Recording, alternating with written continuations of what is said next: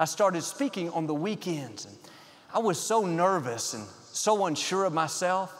I would finish one message and walk off the platform so relieved, and the next thought would come What are you going to speak on next week? What if you have nothing to say? What if no one comes? What if people don't like you? What if the church goes down? The enemy loves to bring the what ifs. Have you noticed it's always the worst case scenario? What if that pain in your little toe is cancer? What if your company lays you off and you can't pay your bills? What if your child doesn't pass that class? These negative seeds that cause worry and anxiety where you can't really enjoy your life. Instead of letting them take root, why don't you turn the what ifs around and dwell on the best case scenarios? Dwell on something hopeful, something that builds your faith.